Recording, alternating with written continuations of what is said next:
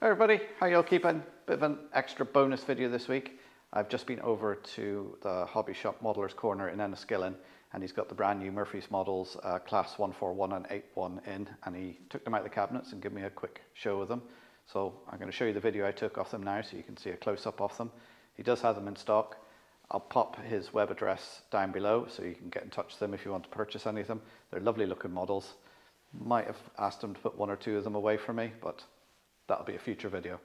Anyway, enjoy. Here in Modeller's Corner in Enniskillen with Warren, the owner, and he's going to tell us about some new stock he's got in today. Yeah, we've just got some of the new Murphy models in. Uh, we've got the 141s, uh, the 181s.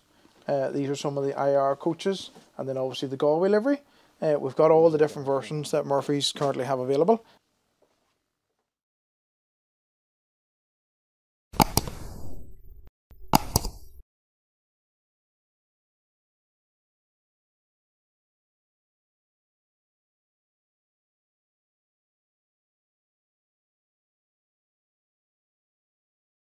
Hope you enjoyed a little look at those models. Don't forget to check out my channel members and Patreon members whose names are scrolling down here. If you'd like to become one, hit the links down below or the join button.